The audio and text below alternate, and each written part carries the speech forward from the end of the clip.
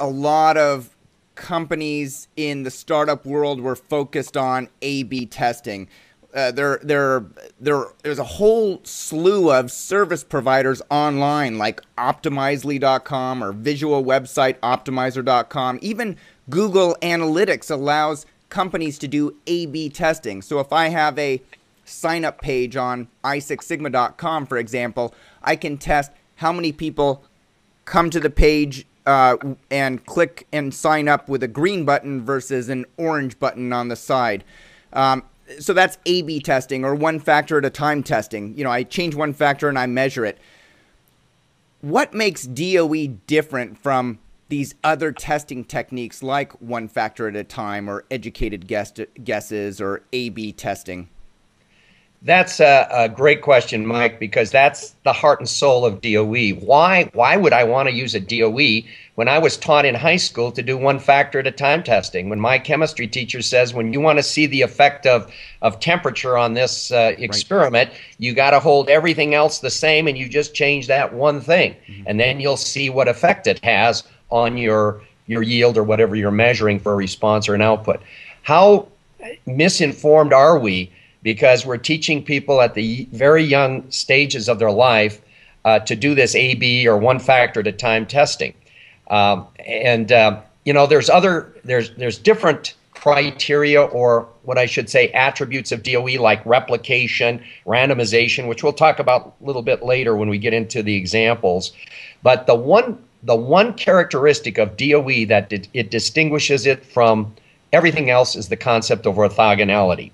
Orthogonality allows, and that's how we distinguish DOE. A DOE is a testing technique that has an orthogonal design or nearly orthogonal design. Now, what orthogonality buys us is the ability to evaluate these factors, their effects, and the interactions independently from one another. That key word is independent evaluation. And what does independent evaluation buy us? Well, independent evaluation buys us the ability to get to root cause. That is, cause and effect relationships. And cause and effect relationships, root cause analysis today is tough stuff, Mike. People make light of it. It is hard because of those doggone combination effects, right, those right. interaction effects. So if you have orthogonal designs, orthogonality buys you the ability to evaluate the effects independently. Independence allows you to buy the ability to get to root cause analysis. And of course, if you can find root causes of problems, guess what? Your decision making is enhanced, and of course, the financial, uh, you know, aspect will also be enhanced.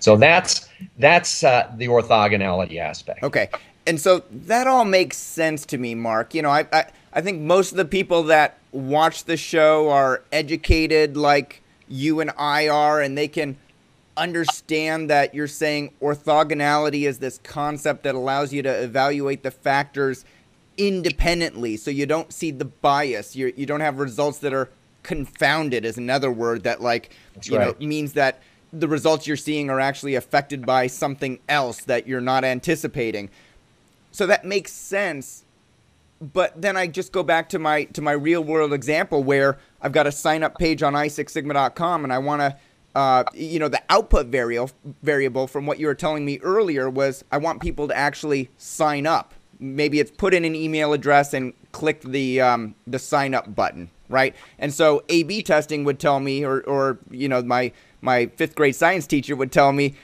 start off with an orange button, change it to a green button, see how much that affects it.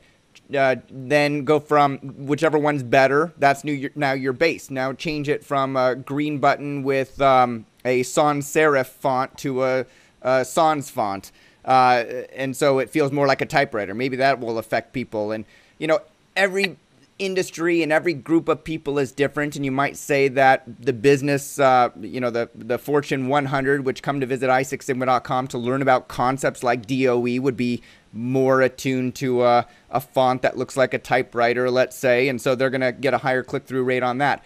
Will DOE allow me to say my output is signups on this page? Now I want to look at all the factors that are involved and just solve it once so I'm not doing A B testing for the rest of my life? Absolutely, Mike. That's the beauty and the power of DOE. You can test multiple things simultaneously and still evaluate the effects independently. Orthogonality means balance in the design. That is, get back to your font and your color thing. You, you now home in on either orange or green, and then you start changing the fonts. There's a way to test those simultaneously so that you have balance in the design, and that balance will allow you to get that independent evaluation. We'll talk a little bit about that in one of the examples that we do. Great. All right. Because all of our designs, all of our DOEs, all of our testing strategies are going to be orthogonal or nearly orthogonal.